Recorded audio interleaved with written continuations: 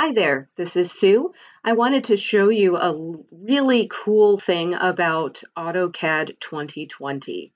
This is different from AutoCAD 2019, so if you've used AutoCAD in the past, you'll be pleasantly surprised.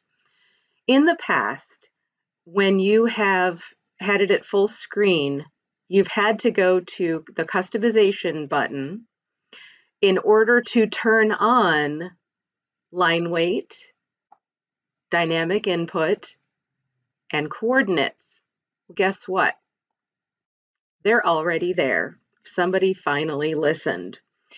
So, um, another cool thing is that in 2019, when you would restore down to a sort of minimized version of this, like say maybe you have directions or something up here, um, these layout tabs would be all squished over to the side. Well, now in 2020, you can see they automatically dock themselves above the status bar and look, the status bar wraps.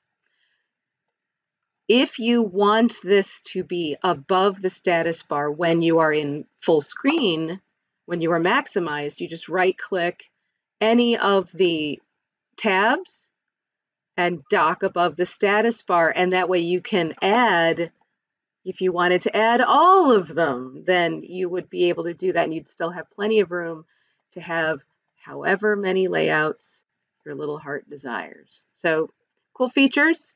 Um, and uh, we'll be exploring this software together. Thanks.